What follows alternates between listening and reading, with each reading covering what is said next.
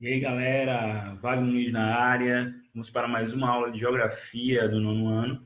Iniciando o módulo 2, vamos falar um pouquinho sobre Ásia e seus aspectos naturais, ok?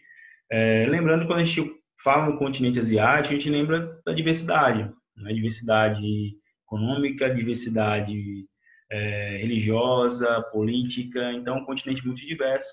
E vai entender um pouquinho dessa diversidade nos aspectos naturais, ok? Vamos dar início.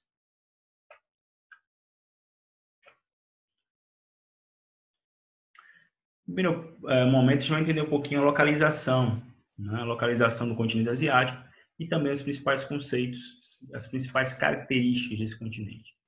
Beleza?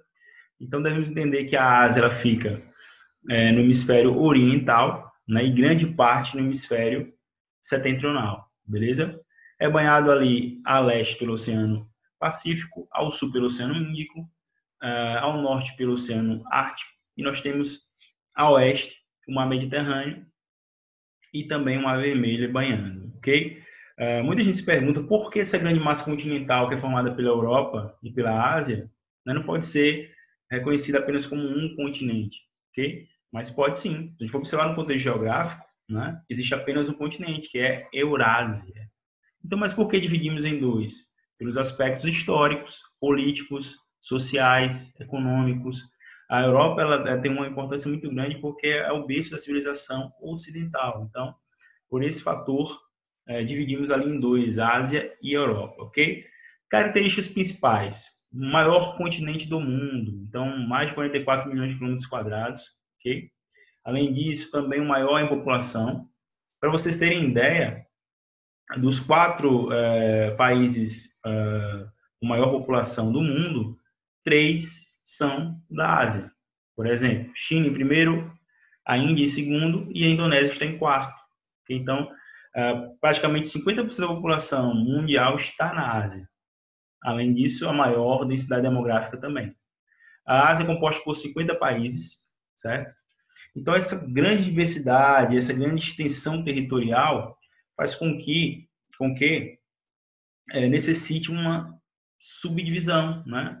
Aí nós temos o que? As sub-regiões da Ásia. Então, para compreender, para organizar melhor o entendimento ali, é, em sub-regiões. Então, nós temos ali a região norte, né? a região, a Ásia setentrional, no extremo norte. Nós temos essa região é, em laranja, nós temos aí a Ásia central. Em amarelo, nós temos o Oriente Médio, o Oriente Médio que é tão conhecido pelos conflitos étnicos, conflitos religiosos, é, econômicos relacionados ao petróleo. Nós temos ao sul né? ali é a parte de lá é o sul da Ásia, e nós temos a região leste e sudeste, né? a sub-região leste e sudeste, é essa parte em verde, ok? Não esqueçam, pessoal, que a Ásia fica uma região de instabilidade geológica, ou seja, região de choque de placas, certo? Por exemplo, o Japão ali fica uma região muitas, é, uma região de, de é, convergência de placas, desculpa. Então, vocês devem entender que vai ter muitos terremotos, é, vai ter questão de tsunamis, vulcanismo, todo esse, esse contexto aí. Lembrando que essa região compõe o Círculo de Fogo do Pacífico, que é a oeste da América. Nós temos ali, eh, nós temos essa parte na oeste da América até o leste asiático. Nós chamamos de Círculo de Fogo do Pacífico. Então, região totalmente de instabilidade geológica, beleza? Então, quando falamos de relevo, Vamos lembrar de instabilidade geológica, falamos da Ásia, por quê? Vamos lembrar da cordilheira do Himalaia, né? onde tem o quê? O Monte Everest, que é a maior montanha do mundo, certo? Vamos lembrar dos montes Urais, que dividem né, de forma natural ali a Europa e a Ásia. Vamos lembrar das planícies fluviais Indo-Gangetic, né? do rio Indo e Ganges, né? ali uh, essa, essa planície muito importante, principalmente ali para a Índia. Vamos ter também a região mesopotâmica, né? a planície mesopotâmica, é, com o rio, é, o rio Tigres e Eufrates, né? onde várias civilizações surgiram né? nessa região. Então, o relevo vai ser bem diversificado também, com muitos planaltos, com, muitos, é, com muitas planícies, né? com muitos desenvolvimentos modernos, depressões. Né? Por exemplo, a Ásia ela tem essa característica, tem a maior montanha do mundo, também tem a maior depressão do mundo, que é o Mar Morto né, mais de 300 metros né, de, é, abaixo do nível do mar. ok? Passando esse contexto, vamos entender um pouquinho o clima.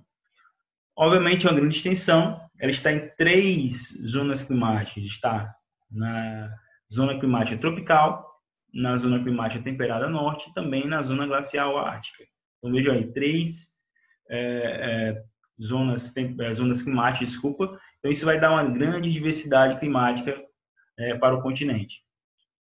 Observem aí essa diversidade. Vamos ter climas quentes, né, climas ali tropicais, equatoriais, mas ao mesmo tempo vamos ter climas polares. Então veja a diversidade, né? Vamos ter climas é, é, áridos, né, semiárido, ou seja, há uma grande diversidade pelo fato da extensão, muito extensa, né, muito extenso o território do continente asiático, ok?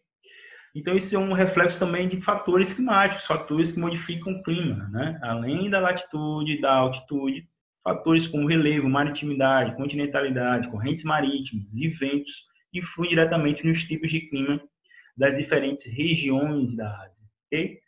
Por exemplo, vou trazer uma, uma situação aqui onde os ventos influenciam, né? os ventos periódicos, né? que, são a, a, que é o sistema de monções que a gente conhece, esses ventos periódicos não são constantes, são periódicos, que aparecem ali no inverno, no verão, modificando toda a dinâmica, certo? Então, vamos observar que as monções, elas ocorrem ali no verão. Veja como a, a, o que ela vai afetar ali, quais as consequências para o sul da Ásia. Vamos entender o seguinte, os ventos, eles têm, a formação dos ventos está aliada ao contexto de alta e baixa pressão.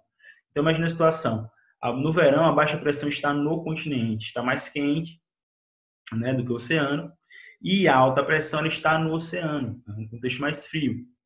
A alta pressão ela sempre busca o equilíbrio com a baixa. Então você vai entender que os ventos vão sair do oceano para o continente. E é isso que vai fazer com que leve uma grande umidade é, para o continente. Então, alta temperatura, com grande quantidade de umidade, obviamente que chuvas. Então, vão ter chuvas torrenciais no sul da Ásia, certo? Nesse período.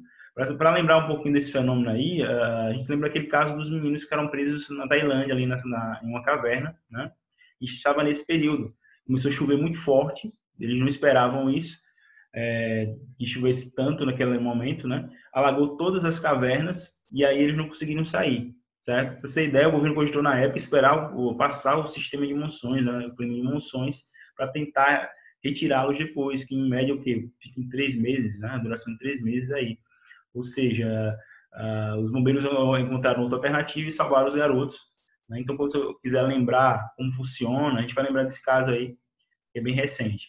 Uh, temos também ali esse contexto no inverno. No inverno, tudo se inverte. Né? A alta pressão vai ficar no continente e a baixa pressão no oceano. Então, os ventos sairão do continente para o oceano, levando toda a umidade que está no continente para o oceano. E é aí que ocorre a estiagem nesse período, beleza? Enquanto no verão chove bastante, né, de forma torrencial, no inverno vai ter estiagem. Okay? Isso é o sistema de monções que envolve a alta e a baixa pressão né, do ar. Okay? Passando, obviamente, o que? Se temos o clima diversificado, né, vamos ter também a vegetação com grande diversidade. Né? Porque a vegetação é o espelho do clima. Então, vamos ter várias, vários tipos de vegetação, vegetação de coníferas, vegetações equatoriais tropicais, vamos ter deserto, ou seja, uma variedade tundra, né, lá no extremo é, norte, né, é, esse tipo de vegetação ela resiste muito bem à, à, neve, etc. Então, o que vocês devem compreender? Se tem uma diversidade climática muito grande, consequentemente também vai ter uma, uma, uma diversidade em relação à vegetação também muito grande, ok? Para finalizar, vamos ver um pouquinho da hidrografia, né? hidrografia da, da Ásia. Vamos ter três rios principais aí, né, que é o rio Yangtze, fica na China, o mais extenso rio asiático, com 6.300 quilômetros, atravessa a parte central da China e deságua no Mar da China Oriental. Lembrando que esse rio ele é importante porque tem um potencial energético muito grande, certo? É aí que se encontra a, a, hidrelétrica Três Gargantas, né, a maior hidrelétrica do mundo, além uma hidrovia que passa muitas mercadorias, ou seja, várias cidades dependem desse, de, dos portos aí no contexto de comércio, ok? Vamos ter também na, na China, desculpa, na Índia, o rio Ganges, né? aproximadamente 2.500 quilômetros de extensão, suas águas cortam o norte da Índia e, cor, e correm até Bangladesh, né, o país Bangladesh. Aí você deve entender que o Rio Ganges tem uma grande importância é, religiosa, é o rio sagrado para os indianos, é onde eles jogam as cinzas dos mortos, né, fazem rituais de purificação e tudo mais. Há várias cidades às margens dos rios. Mesmo assim, infelizmente, eles poluem bastante, o rio é muito poluído. Então, tem esse contexto religioso, mas ao mesmo tempo eles não ligam muito para a questão da, da poluição. Ok? Por fim, nós temos aí o rio Tigres e Eufrates, na região da Mesopotâmia, onde várias civilizações surgiram, né? As margens desses rios aí, né? Por exemplo, juntos esses dois rios delimitam a região da Mesopotâmia ou terra entre rios, né? Onde civilizações antigas se estabeleceram com, mil, uh, com 1.900 uh, quilômetros de extensão, o rio Tigre nasce na Turquia e une-se ao Eufrates na região sul do Iraque. O que o rio Eufrates tem, é, o rio Eufrates, desculpa, tem 2.780 quilômetros e atravessa parte da Síria e do Iraque, ok? Então, esses são os, os rios mais importantes, os quatro rios mais importantes é, da Ásia, né? Então, a gente tem que observar isso de forma crítica.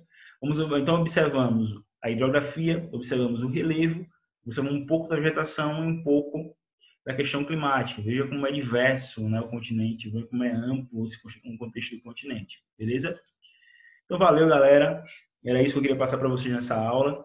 É, lembrando, curte, né, compartilha, se inscreve no canal da escola para a gente continuar fazendo esse trabalho, beleza? Valeu, um abraço.